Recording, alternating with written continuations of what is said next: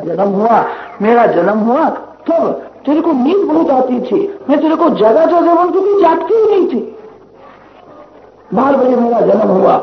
रात भर मैं अंधेरे में खेलता था। सवेरे पाँच बजे के बाद तू उजागी मेरे को थोड़ा अंधेरा मैं घोड़ा था।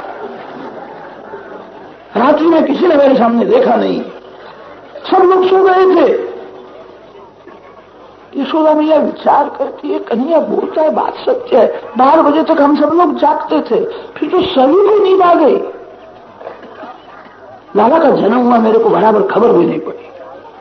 कन्हैया, सच बताना, तेरा जन्म तेरे को याद आता है?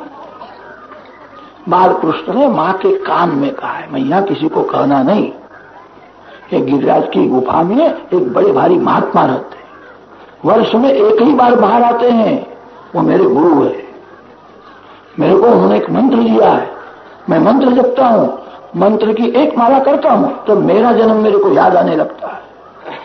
मंत्र की मैं दो माला करता हूँ तो तेरा जन्म मेरे को याद आने लगता है। मंत्र की तीन माला करता हूँ तो फिर तेरे बाप का भी जन्म मेरे को याद आ जाता कि मेरे बाप का जन्म तेरे को कैसे याद आता मैं मंत्र जपता हूँ। मेरे गुरु ने मेरे को मंत्र दिया। इस भैया, बड़ी गोली। थी जो सरल हृदय है, उसी के हृदय घर गोद में भगवान खेलते हैं। कपट करने वाले से भगवान दूर रहते हैं। जो मानव के साथ कपट करता है, वह कभी भगवान के साथ भी कपट करेगा। मैं को समझा दिया, मेरे गुरु ने मेरे मेरे को मंत्र दिया है। यशोदामा सभी को कहती है, मेरी भूल हो गई। रात्रि में बारह बजे के बाद लाला का जन्म हुआ, रात भर अंधेरे में खेलता था। किसी ने उसके सामने देखा नहीं। सब सो गए थे दक्षिण भारत में ज्ञानेश्वर महाराज सोलह वर्ष के थे, गीता जी के ऊपर भाष्य लिखा। ज्ञानेश्वर महाराज ने कोई विषय छोड़ा ही नहीं है, कुछ बाकी रखा नहीं है। गीता जी के ऊपर भाष्य लिखा है श्री कृष्ण श्याम क्यों है? ज्ञानेश्वर महाराज बड़े ज्ञानी उन्होंने ऐसा वर्णन किया है जीव ईश्वर से दूर खड़ा है। जो दूर से दर्शन करता है, उसको भगवान में श्यामता दिखती है। ज्ञानी भक्त भगवान के चरण में जाते हैं, अति समीप में जाते हैं, भगवान के साथ एक हो जाते हैं। ज्ञानी भक्तों के लिए भगवान प्रकाशमय है। जो जीव भगवान का दर्शन दूर से करता है, उसको ऐसा लगता है श्रीअंग में के जैसा श्याम। इसलिए भगवान श्याम दिखते हैं। ज्ञानी भक्त भगवान के चरण में रहते हैं, एक रूप हो जाते हैं। दक्षिण भारत में श्री एकनाथ महाराज हुए। भागवत के ऊपर टीका लिखी है। एकनाथ महाराज का चरित्र बहुत दिव्य। ज्ञानी तो है भक्त हृदय। श्री कृष्ण प्रेम में उनका हृदय पिघला हुआ ही रहता था। देह का जगत का भान नहीं। बहुत थोड़े समय तक देहवान में आते थे। एकनाथ महाराज ने वर्णन किया है श्री कृष्ण श्याम क्यों है? मानव का हृदय काला होता है। शास्त्रों में वर्णन है, काम काला है, क्रोध लाल है और लोभ पीला है। लोभ मन में आता है, तब आँख में पीला सा जाती है। क्रोध आने पर आँख लाल हो जाती है। क्रोध का रंग लाल है और काम का रंग काला है। काम हृदय में होता है। मानव का हृदय काला ही होता है। हृदय में काम है। जो श्री कृष्ण का ध्यान करता है प्रेम से बाल कृष्ण की पूजा करता है। हरे कृष्ण हरे कृष्ण की जो परमात्मा के साथ प्रेम करता है, उसके हृदय की कालाश को भगवान खींच लेते हैं। भक्त हृदय की कालाश भगवान फेंक देते नहीं है, अपने श्रीअंग में रखते हैं।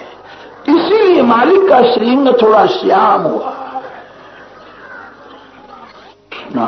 जय कृष्ण जय श्री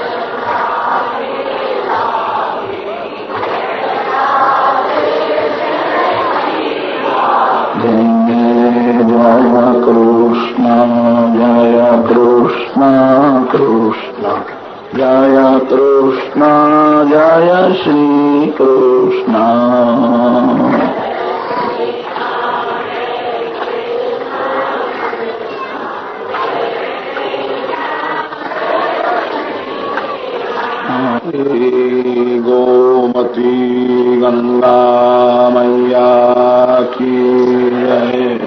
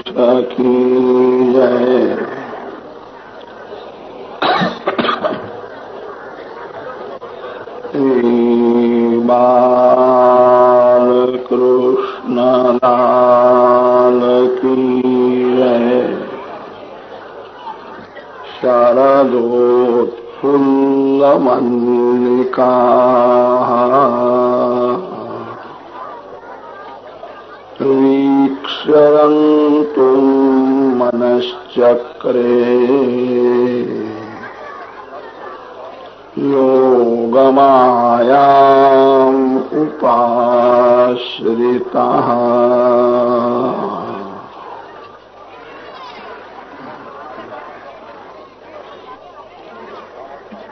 परमात्मा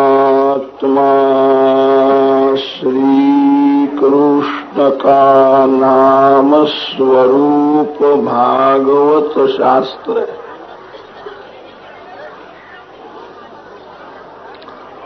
भगवान ने संसार में अपना स्वरूप छिपाया है। परमात्मा का प्रत्यक्ष दर्शन नहीं होता है। इसलिए भगवान की भक्ति करना बड़ा कठिन है। परमात्मा का प्रत्यक्ष दर्शन होवे तो सभी जीव पूजा करे, सेवा करे। दर्शन प्रत्यक्ष में नहीं होता। भगवान ने अपना नाम प्रकट रखा है। भगवान का नाम और भगवान का स्वरूप दोनों एक ही है।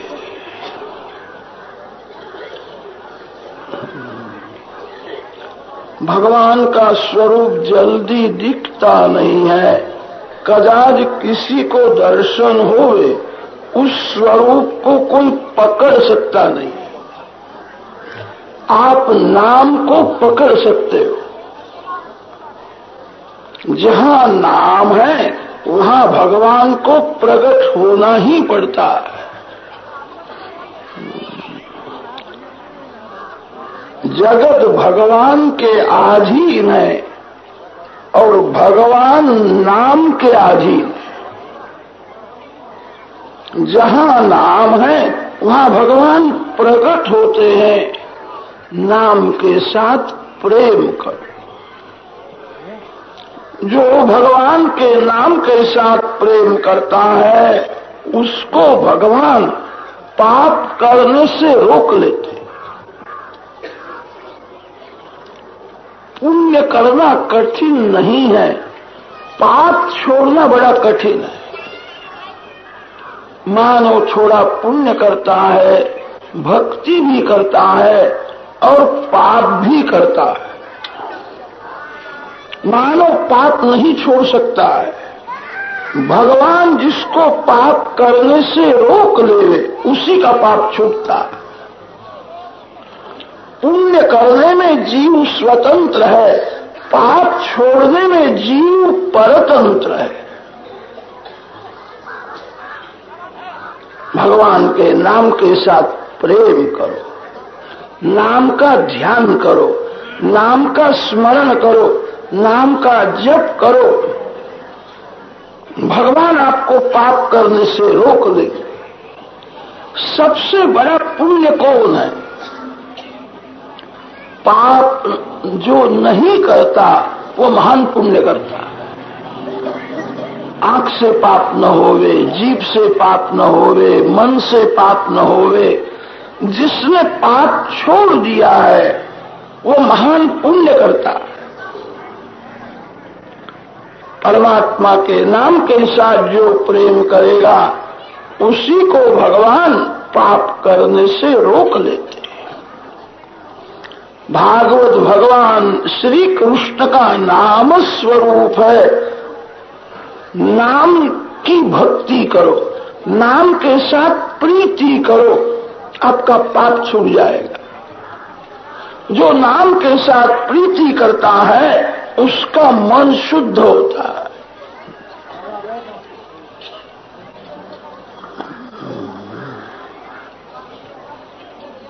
जिसका मन अति शुद्ध है, अति शुद्ध मन भगवान में मिल जाता है। अति शुद्ध मन भगवान से अलग नहीं रह सकता। मन मलिन है, इसीलिए ईश्वर से अलग रहता है। मन मलिन है, इसीलिए संसार में रमता है। जिसका मन अति शुद्ध है अति शुद्ध मन भगवान में मिल जाता है। जिसका मन भगवान में मिल गया है, उसी को गोपी कहते हैं। मन जब मिलेगा, तब तो भगवान में ही मिलने वाला है। संसार के किसी जड़ वस्तु में आज तक किसी का भी मन मिला नहीं। मन संसार में घूमता है, थोड़ा समय वहाँ रहता है, वहाँ से हट जाता है। ये फूल अभी सुंदर लगता है, मन वहाँ जाएगा मन फूल में मिलता नहीं थोड़ा समय वहाँ रहेगा, फूल सूख जाता है तो मन वहाँ से हट जाएगा। मन जब मिलेगा, तब भगवान में ही मिलने वाला है। संसार के विषयों में मन मिलता नहीं है, मन फंस जाता। व्यवहार में भी लोग ऐसा ही बोलते हैं, इसका मन फंस गया है। मन मिल गया ऐसा नहीं बोलते। मन भगवान में ही मिलता है। घर के लोगों को मन देने की क्या ज़रूरत है? मन भगवान को देना चाहिए। किसी भी मानव को आपके मन की ज़रूर नहीं है। मानव तो आपका धन माँगता है। मानव आपका तन माँगता है। भगवान मन मांगते हैं। भगवान को धन की ज़रूर नहीं है। भगवान लक्ष्मीपति है। परमात्मा जीव के पास मन मांगते मानव की भूल यही है मानव अपना मन भगवान को नहीं देता है, मन स्त्री को देता है, पुरुष को देता है। परिणाम में दुखी होता है। मानव ऐसा दुबला है, मानव अपने मन को भी नहीं संभाल सकता तो दूसरे के मन को क्या संभालेगा? मन किसी स्त्री को देना नहीं, मन किसी पुरुष को देना नहीं। घर के लोग मन मांगते भी नहीं। घर के लोग तो तन और धन मांगते हैं। किसी मानव को मन देने की ज़रूर नहीं है। मन भगवान को दो। एक दिन मन भगवान में मिल जाएगा। दूध में शक्कर डालो तो मिल जाती है।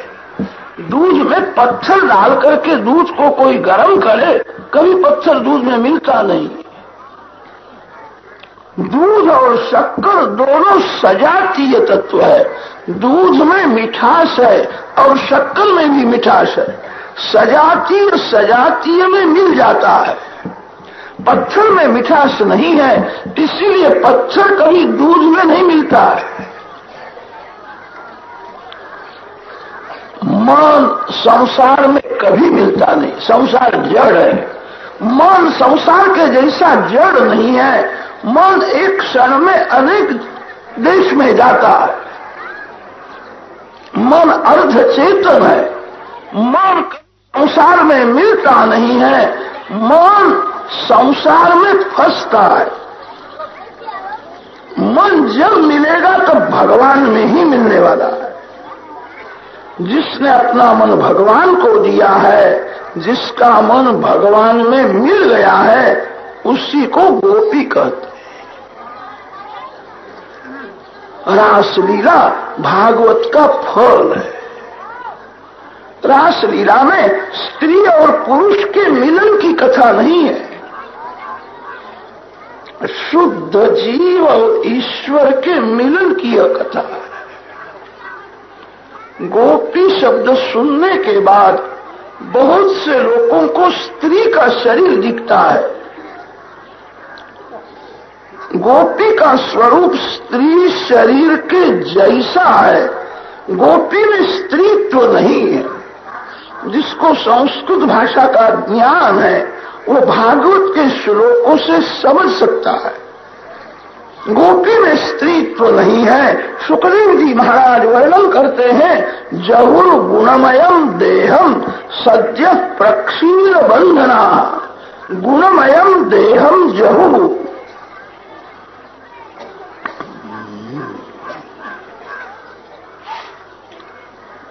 कितने श्रीमान लोग घर में शोभा के लिए लकड़ी के फल रखते हैं।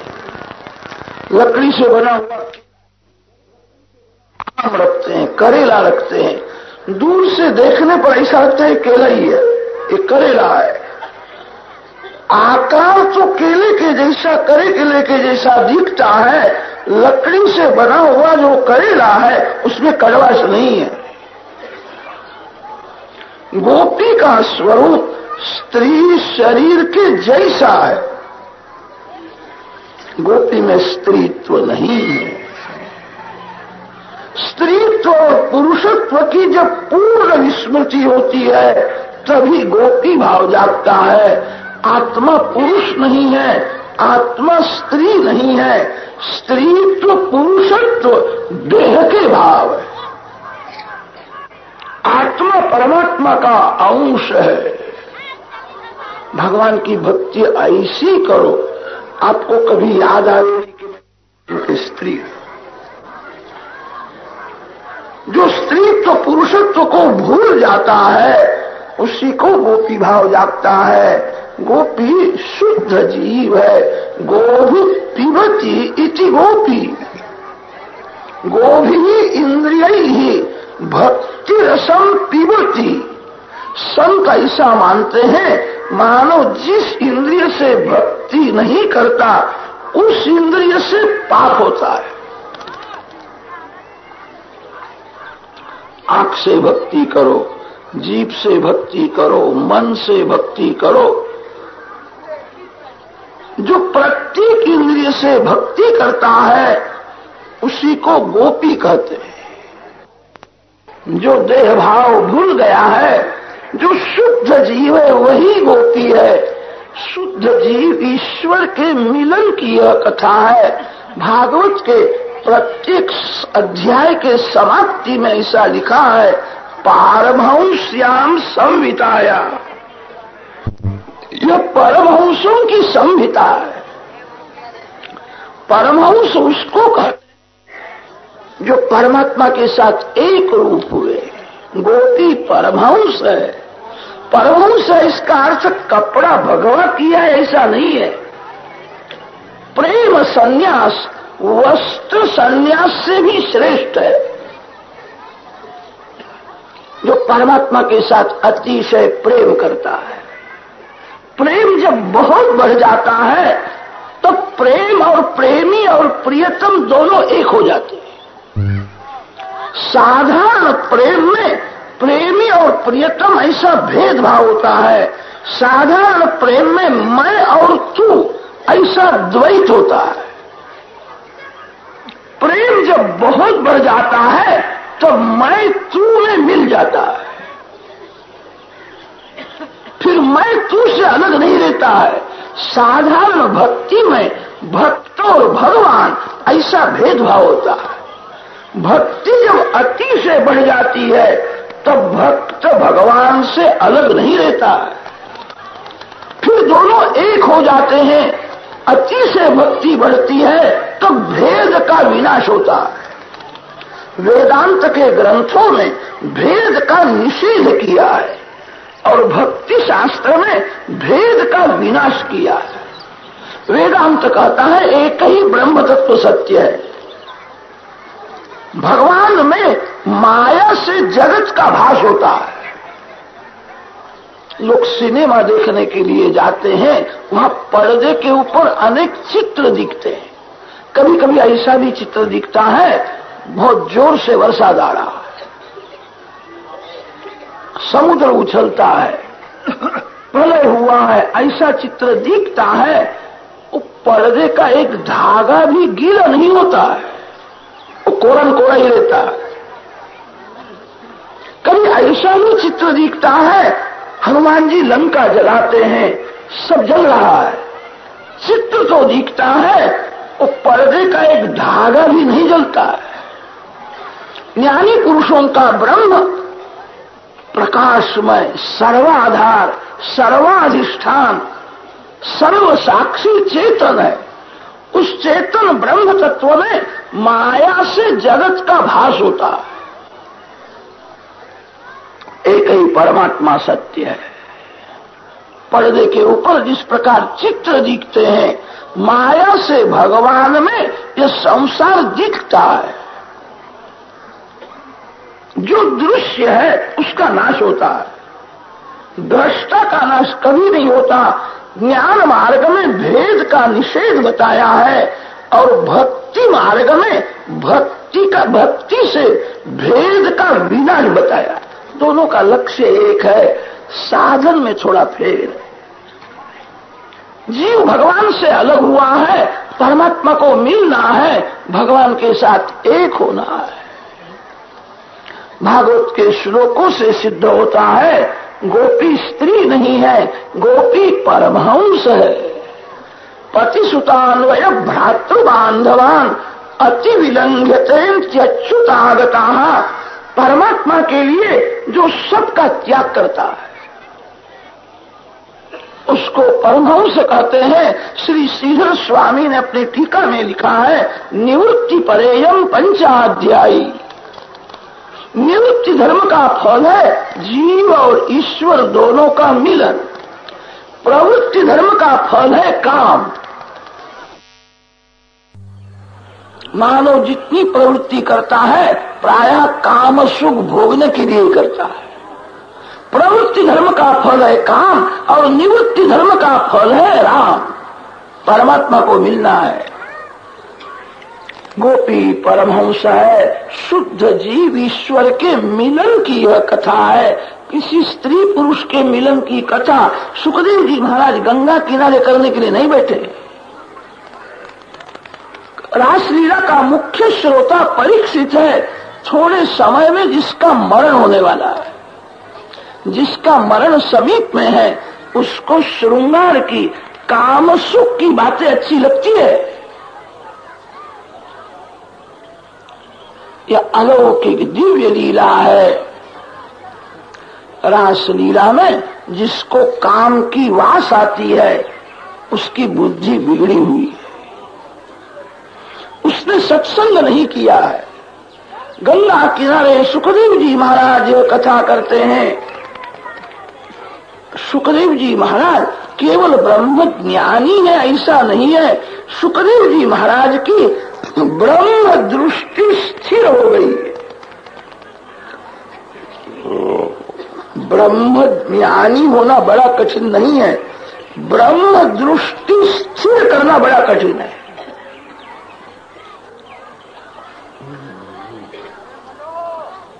इस समय तो आप सभी ब्रह्मज्ञानी संत के जैसे ही बैठे हो।